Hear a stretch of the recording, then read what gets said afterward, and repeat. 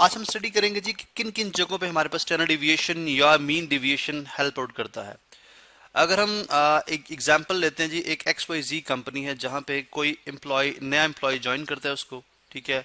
और उसकी startup salary जो है let suppose fifty thousand rupees है।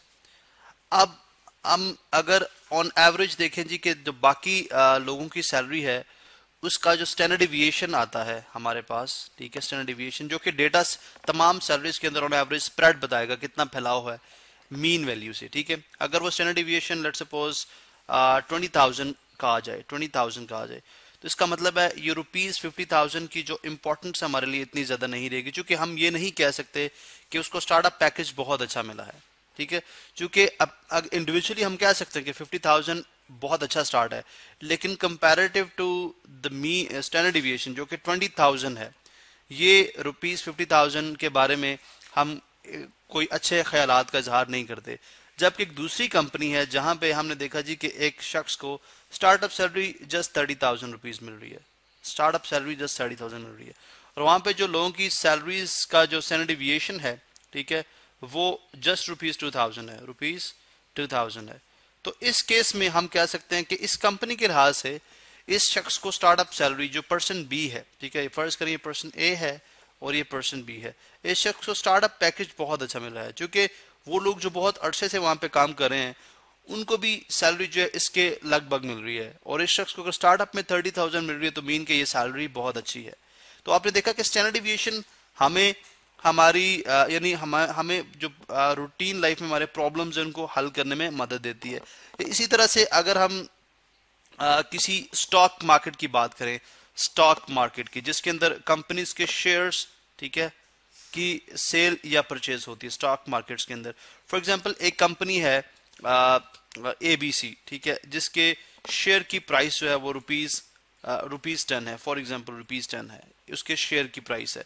अब शेयर बेसिकली क्या है? थोड़ा सा अगर मैं आपको ओवरव्यू दे दूँ, वो लोग जो बिज़नेस से ताल्लुक नहीं रखते या फाइनेंस से नहीं रखते ताल्लुक, उनके लिए शेयर बेसिकली कंपनी की ऑनरशिप है। फॉर एग्ज़ाम्पल अगर एक शख्स है जिसके पास एक हज़ार शेयर हैं और एक शेयर की प्राइस दस रुपीज़ है तो इसका मतलब है वो कंपनी का दस हज़ार रुपए का मालिक है। यानी दस हज़ार रुपए जो है उसके भी, उस कंपनी की इन्वेस्टमेंट में शामिल है। ठीक है? तो ten thousand of the total investment जितनी परसेंटेज निकलेगी तो इतने परसेंट जो है कंपनी का मालिक वो शख्स हो जाएगा। अब ये जो शेयर्स हैं, अगर फॉर एग्जांपल दस डॉलर इनकी प्राइस निकलती है सॉरी दस रुपीज़ तो उस दस रुपए तो इसका मतलब है कि अगर हम पिछले पिछले वन मंथ की जो मार्केट प्राइस रही है शेयर की, उसका स्टैंडर्ड डिविएशन फाइंड आउट कर लें।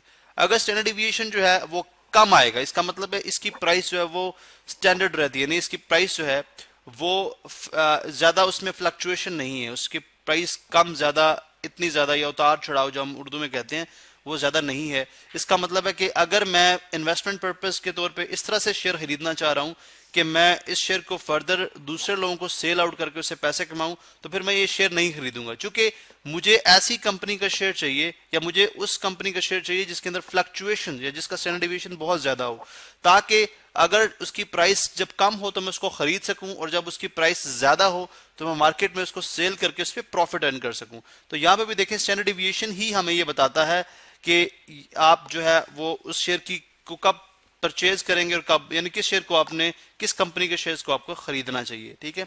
इसी तरह से अगर हम स्टूडेंट के स्कोर की बात कर लेते हैं, यानी दो स्टूडेंट को अगर हम कंपेयर करना चाह रहे हैं, एक स्टूडेंट है ए एक स्टूडेंट है बी स्टूडेंट ए जो है किसी भी सब्जेक्ट के अंदर फॉर एग्ज़ाम्पल स्टार्ट के अंदर ही, जो उसका स्कोर है, वो फिफ्टी स्कोर है, ठीक है? जो कि एवरेज स्कोर है, यानी ये स्टूडेंट ए का स्कोर है। जबकि मीन स्कोर जो है पूरी क्लास का, ठीक है, वो कितना है? वो 55 है, ठीक है? With standard deviation with standard deviation ten for example ठीक है? तो हम यहाँ पे देखें मीन यानी बल्कि हम सेकंड का भी लिख लेते हैं। अगर सेकंड बच्चा 60 स्कोर करता है, ठीक है? जबकि जो मीन स्कोर है, ठीक है, वो है फिफ्टी और स्टैंडर्ड डिविएशन जो है, वो है यू नो ट्वेंटी तो अब आप देखें, अब आप देखें, इन दोनों में से हम कैसे आइडेंटिफाई करेंगे किस बच्चे की परफॉर्मेंस ज़्यादा अच्छी है? अब अपेरेंटली अगर आप देखें तो स्टूडेंट ए स्कोर 50 कर रहा है स्टूडेंट बी स्कोर 60 कर रहा है। तो ऑब्वियसली जिसका स्कोर 60 है, वो बेहतर लग रहा है। लेकिन अगर हम स्टैंडर्ड डिविएशन को बेस बनाएँ, यानी अगर हम ये देखना चाहें जी कि यानी मीन से इसका डिफरेंस कितना है मीन से इसका यहाँ पे डिफरेंस जो आ रहा है फाइव आ रहा है, ठीक है? यानी मीन से इसका डिफरेंस क्या आ रहा है? फाइव आ रहा है। और फाइव को अगर आप टेन के साथ डिवाइड करें तो ये ऐसे लग मतलब यहाँ पे यूँ समझ आती है कि ये आंसर आ जाएगा five divided by ten is zero point five, zero point five. इसका मतलब है ये अपने मीन स्कोर का point five standard deviation away है point five standard deviation away है। जबकि यहाँ पे देखें तो सिक्सटी का फिफ्टी से जो डिफरेंस है वो टेन का है, ठीक है? फिफ्टी का जो सिक्सटी से डिफरेंस है वो टेन का है। टेन को अगर आप ट्वेंटी से डिवाइड करते हैं, twenty one time ten, one time ten ten, two times twenty ठीक है, ये भी वन बाई टू आता है जो कि आंसर आएगा ज़ीरो पॉइंट फाइव तो अगर आप ज़ीरो पॉइंट फाइव यानी ये भी अपने मीन स्कोर से point five standard deviation away है, ये भी अपने मीन स्कोर से point five standard deviation away है. तो यहाँ पे, यानी ये स्टैंडर्ड डिविएशन हमें ये बता रहा है कि दोनों की परफॉर्मेंस जो है वो एक जैसी है. दोनों की परफॉर्मेंस जो है वो क्लास में एक जैसी है. तो यहाँ पे भी हमें स्टैंडर्ड डिविएशन ही हेल्प कर रहा है. अब थोड़ा सा अगर हम ये देख लें कि स्टैंडर्ड डिविएशन और, या और मीन डिविएशन और मीन डिविएशन दोनों में से क्या चीज़ यूज़ करनी चाहिए? ठीक है? अब स्टैंडर्ड डिविएशन का जो बेनिफिट है स्टैंडर्ड डिविएशन का बेनिफिट क्या है? या स्टैंडर्ड डिविएशन किस तरह से फाइंड आउट किया जाता है? हम जो जो भी तमाम डेटा सेट की जो वैल्यूज़ हैं, वो मीन वैल्यू से सब्ट्रैक्ट करते हैं, ठीक है? मीन वैल्यू से सब्ट्रैक्ट करते हैं और उसका उसका स्क्वायर करते हैं, ठीक है? स्क्वायर इसलिए करते हैं ताकि जो नेगेटिव का इम्पैक्ट है वो खत्म हो जाए। समेशन करते हैं एंड डिवाइडेड बाय एन करेंगे ठीक है? ये हमारे पास आएगा वेरिएंस और इसका अगर हम स्क्वायर रूट कर लें तो हमारे पास स्टैंडर्ड डिविएशन बन जाएगा। जबकि जो मीन डिविएशन है मीन डिविएशन में एक्स माइनस जो मीन uh, स्कोर है ठीक है? उसका हम एब्सोलूट लेंगे उसका हम एब्सोलूट लेंगे और तमाम वैल्यूज़ को समेशन करके डिवाइडेड बाय एन करेंगे। ये हमारे पास क्या आ जाएगा? मीन डिविएशन लेकिन अब अगर आप यहाँ पे देखें तो यहाँ पे जो मीन जो एब्सोलूट लिया जा रहा है वो नेगेटिव के इम्पैक्ट को नगेट करने के लिए किया जा रहा है ठीक है? इसका मतलब क्या हुआ कि यहाँ पे हम सिर्फ़ मैग्नीट्यूड ऑफ़ द नंबर के साथ डील कर रहे हैं। यूनिट के साथ डील नहीं करे यूनिट के साथ डील नहीं करे। लेकिन यहाँ पे हम एक्चुअल नंबर का जब स्क्वायर करते हैं और जब उसका स्क्वायर रूट लेते हैं तो इसका मतलब है जो हमारे पास स्टैंडर्ड डिविएशन रहेगा वो एक्चुअल अपने यूनिट में रहेगा। तो इस चीज़ को इंटरप्रेट करना ज़्यादा बेहतर है। तो आमतौर पर अगर आप देखें तो ज़्यादातर चीज़ों को चीज़ों के अंदर स्प्रेड फाइंड आउट करने के लिए जो स्टैंडर्ड डिविएशन की वैल्यू है, वो हमारे मीन डिविएशन की वैल्यू नहीं है। मीन डिविएशन चूँकि यूनिट के बगैर हमें जो है वो एब्सोल्यूट क्वांटिटी में एक नंबर देता है। जब जिसको किसी दूसरे डेटा सेट के साथ कंपेयर करना पड़े तो प्रॉब्लम होती है। फॉर एग्जांपल अगर एक चीज़ किलोमीटर में हो और एक मीटर में हो तो दोनों के जो जो नंबर अगर सेम आते तो हम ये नहीं कह सकते कि दोनों का स्प्रेड एक जैसा है। लेकिन यहाँ पे अगर आप देखें तो यूनिट चूँकि जो फाइनल आंसर आएगा वो यूनिट में होगा तो इसलिए स्टैंडर्ड डिविएशन को इंटरप्रेट करना ज़्यादा आसान हो गया। इसके अलावा स्टैंडर्ड डिविएशन हमें ग्राफिकली अगर हम डेटा सेट की सैम्पलिंग डिस्ट्रीब्यूशन करें, जो कि मैं आपको अभी स्क्रीन पे शो करूँगा।